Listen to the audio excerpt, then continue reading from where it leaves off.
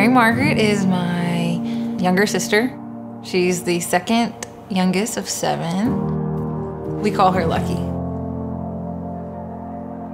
She is 20 years old. She is spunky, independent, and in charge. we grew up in a small town in Mississippi. Um, we didn't baby her or treat her differently. Being one of seven, you just kind of fall right in, and we would, you know, everything that we did, she would do. I mean, like, we fought. She was my little sister. We, like, had fun together. We got in trouble together. I would say that like I didn't really realize my Margaret was different until like I was in middle school probably. I didn't really like understand or like even identify a difference in Mary Margaret. Looking back on our childhood, like Mary Margaret was always just like so caring. She has a servant's heart. She wants to bring joy to other people, you know. She's just the center of our universe.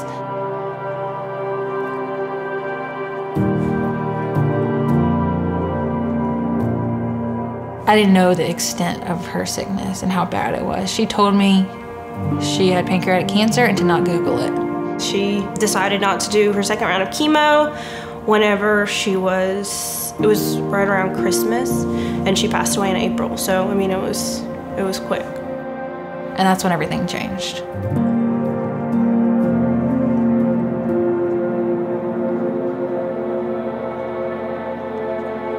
Looking back, it was really bad. My parents passing on Mary Margaret was different from the way that my sisters and I might have grieved or gone through it. And I think as independent as Mary Margaret is, and as much as she's her own person and is an adult, she understands that she needs someone to care for her. And so I think it was very scary for her to lose my parents because not only is it hard enough just to lose them, but I think she had questions of who's going to take care of me. I knew she needed to be with us.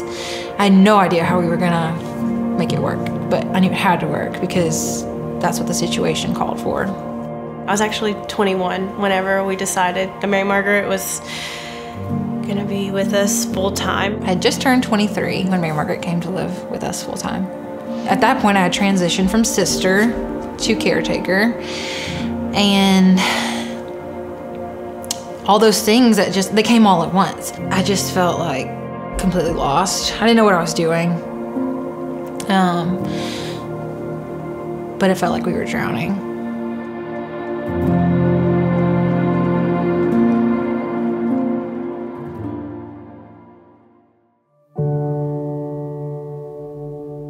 The people in the community who you know supported our family they knew that mary margaret was here full time she wasn't in any kind of like program or anything. Um, they kept telling me oh you got to go to gigi's. And that was really exciting to me. You know we show up and it's just like oh my gosh this is to be so cool.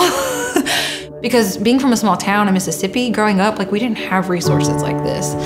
So i was kind of blown away our goal is overall to change the way the world views Down syndrome. What we're doing in these four walls of our playhouse is extremely extraordinary for the family, um, but we're growing that family as well as growing the participant with Down syndrome in order to have the confidence and the skills to go out into the community and change the way that the community views them. We truly believe that Gigi's Playhouse is for the entire family.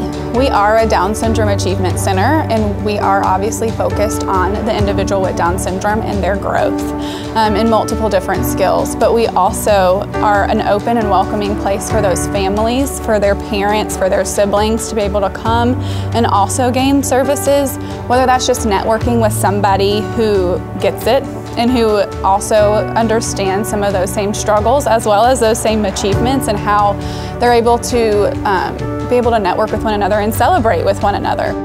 Gigi's was our first breakthrough in Nashville. I was co-parenting with Anna. We were, you know, I had Mary Margaret, we were both students. Like for a long time, it was easy to think that our situation is so niche that like Nobody understands our struggle. And then I was introduced to all these families and these women who have children with Down syndrome. And I'm just like covered in love and just welcomed. And it was kind of like, okay, like we can do this. It's gonna be okay. There are things for her. I mean, it just opened up so many doors. She's good. Like to, I like to hang out. Shanae, she good. Us do a lot of things that she sees us to do. CrossFit, on the beach. Mary Margaret just kind of blows me away. she, um, just seeing how much she's been able to transition her life um, from the sudden move here to Nashville, um, as well as her sisters and their strength um, and their patience. Seeing them go from coming to Gigi's and it being the first thing that they've heard about in Nashville to meeting with some of our other moms that have um, children the same age or around the same age as Mary Margaret, and now seeing her in multiple programs in the Nashville area, as well as working at Edley's. Um, it's just something that she's truly grown in the last year and a half. Um, and it's been wonderful for us to be able to make those connections and see how it's truly impacted her life. Gigi's has just empowered Mary Margaret so much. Her level of confidence now like blows my mind. I feel good being independent. Every day I get much, much, much better.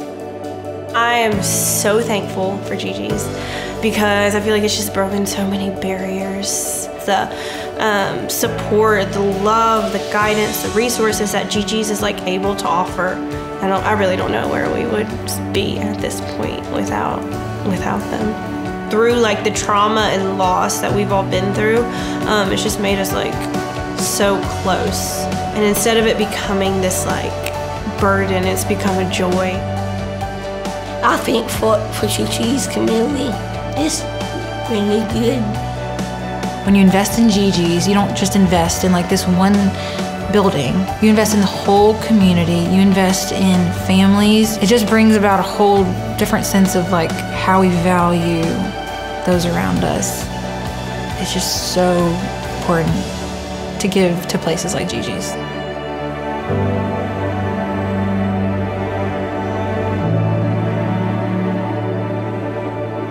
you.